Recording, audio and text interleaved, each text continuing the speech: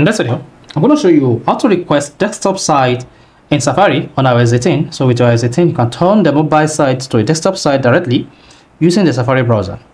So if you're not running on the latest iOS 18, you need to wait until the iOS 18 is available on your device and you upgrade to this iOS version. And once that is done, you then need to go ahead to the Safari browser to request a desktop site. So if I download this video, you found this video helpful and informative, please don't forget to like and subscribe.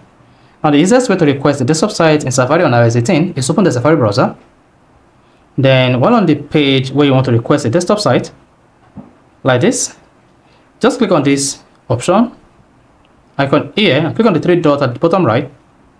Now if you see request desktop website, click on that. Then you need to hang on, this page is going to reload and this is going to load this page in desktop version. So let's try this on another website. So this, so let's say you're on this website and you are solving this web page. Now you want to request this site on desktop all you just need to just click on this option here. Then click on this three dot at bottom right. Click on request desktop site.